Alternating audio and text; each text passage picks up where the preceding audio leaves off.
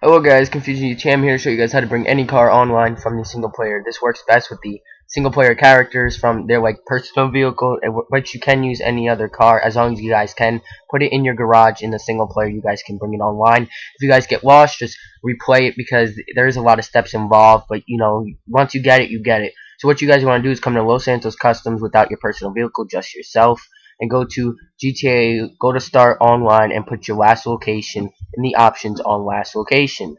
It should be set on property. If you guys put the last location, just do that. Once you guys do that, select, go to the single player. I'm selecting uh, Michael because I want his obey tailgater. So I am selecting him. And once you guys spawn, you guys will either spawn near their houses or wherever they are. I spawn away from the house and his car was on the street. You guys are going to stand right by it do not go inside of it like I did. You guys just need to stand right by it.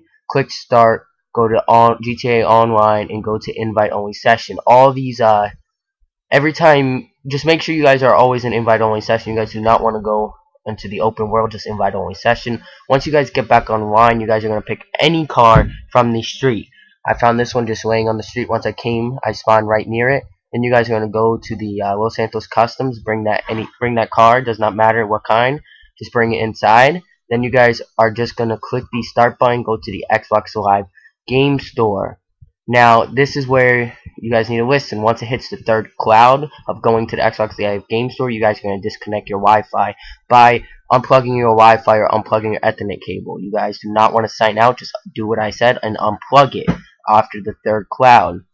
It should spawn you right. It should tell you like like they're gonna put you back in single player that's when you guys know you guys are doing it right because that's what I am going to do. I should spawn right back in single player and I did spawn inside of his house. So I did went back to his car and once you guys are in the car you guys want to bring a line, bring it to the Los Santos Customs and park it like I do where the doors open but do not go all the way inside it. Then you guys will sign in to Xbox Live from here.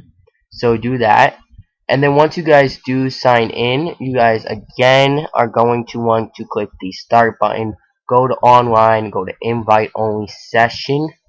And once you guys do get back online, you should see, you should spawn near the Los Santos Customs again if you guys do have it on last location like I said in the beginning of the video.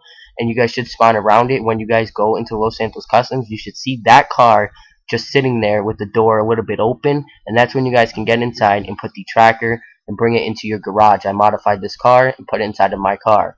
So yeah, that's it guys. If you guys got lost, just go back in the video and rewatch it because I did go a little bit fast, but once you guys get it, it does work. So leave a like for this video to show your friends this is after the patch 1.10 that was just released this morning. So that's it guys. Like, comment, subscribe, and enjoy as always.